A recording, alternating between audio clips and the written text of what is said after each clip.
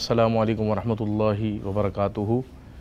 شیخ الاسلام ڈاکٹر محمد طاہر القادری کی اکترویں سالگرہ کے موقع پر میں محمد عامر فیاضی دل کی گہرائیوں سے شیخ الاسلام کو دل کی گہرائیوں سے مبارکباد پیش کرتا ہوں۔ اللہ تعالیٰ ان کی عمر دراز فرمائے اور پروردگار عالم کا سایہ ہم سب پہ قائم و دائم فرمائے۔